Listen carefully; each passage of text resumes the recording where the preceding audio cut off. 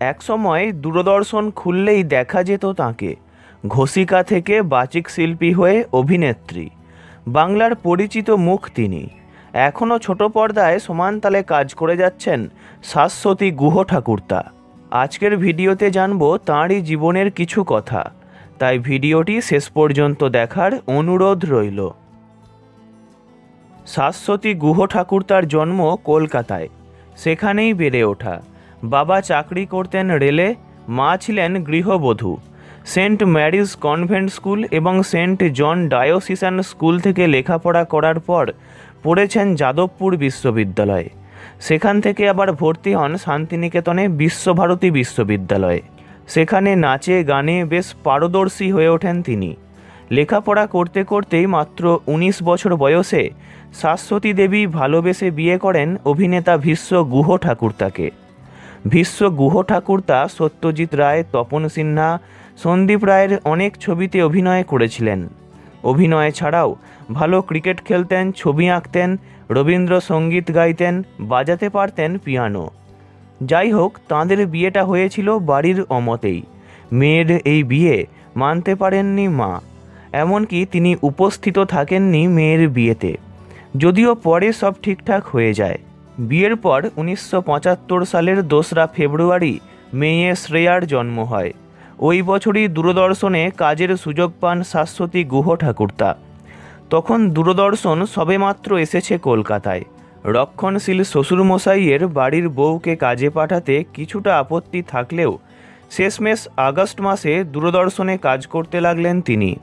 তখন একদিকে সদ্যজাত মেয়ে, সংসার, আর অন্যদিকে চাকরি। দুই দিকই ম্যানেজ করেছেন। শাশুড়ি মাও অবশ্য সহায়তা করতেন বাড়ির কাজে। দূরদর্শনে কাজ করতে করতেই ধারাবাহিকে কাজের প্রস্তাব আসে। উনিশশো ছিয়ানব্বই সালে কৌশিক গাঙ্গুলি পরিচালিত একটি ধারাবাহিকে প্রথমবার অভিনয় করেছিলেন তিনি। তারপর নানা রঙের দিনগুলি, মোহনা, নির্ভাঙা ঝড় ইত্যাদি অনেক ধারাবাহিকে কাজ করেছেন। শাশ্বতী গুহ ঠাকুরতা বর্তমানেও বাংলা ধারাবাহিকের জনপ্রিয় মুখ। এখন ইচ্ছে পুতুল ধারাবাহিকে কাজ করছেন তিনি। ধারাবাহিকের সঙ্গেই একসময় মঞ্চ নাটকেও দক্ষতার সঙ্গে অভিনয় করেছেন।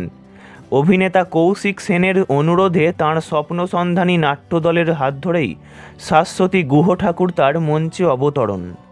অনেক ভালো ভালো নাটক করেছেন, গানও গেয়েছেন অনেক। ঋতুপর্ণ ঘোষ পরিচালিত দু হাজার নয় সালে মুক্তি পাওয়া আবহমান ছবিতে অভিনয় করে বড় পর্দাতেও পা রাখেন তিনি। তারপর অন্তহীন আগর, বাড়ি তার বাংলা, এভাবেই গল্প হোক, ইত্যাদি ছবিতে কাজ করেছেন। জে এল ফিফটি নামক একটি হিন্দি ছবিতেও কাজ করেছেন তিনি। আগের বছরই এগারোই ফেব্রুয়ারি স্বামী ভীষ্ম গুহ ঠাকুরতা প্রয়াত হবার পর থেকেই শাশ্বতী দেবী কার্যত একা। মেয়ে শ্রেয়ার বিয়ে হয়ে গিয়েছে।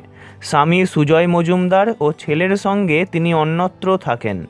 তবে মায়ের কাছে আসা যাওয়া আছে তাঁর। শ্রেয়া বর্তমানে একজন জনপ্রিয় গায়িকা। দেশ বিদেশের বিভিন্ন জায়গায় গানের অনুষ্ঠানও করেন তিনি। মা শাশ্বতী গুহ ঠাকুরতার সঙ্গেও বহুবার তাকে গান গাইতে দেখা গেছে। শাশ্বতী দেবীর ছেলে সৌনক গুহ ঠাকুরতাও সংসারী হয়েছেন। তাঁর স্ত্রীর নাম অঙ্কিতা গুহ ঠাকুরতা ছেলে সৌনক বিদেশে থাকেন পরিবারকে নিয়ে। শাশ্বতী দেবী নিজেকে ব্যস্ত রাখেন কাজের মাধ্যমেই। অভিনয়, গান এসব নিয়েই দিব্যি আছেন তিনি।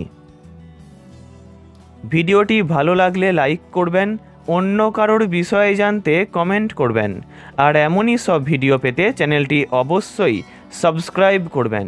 ধন্যবাদ।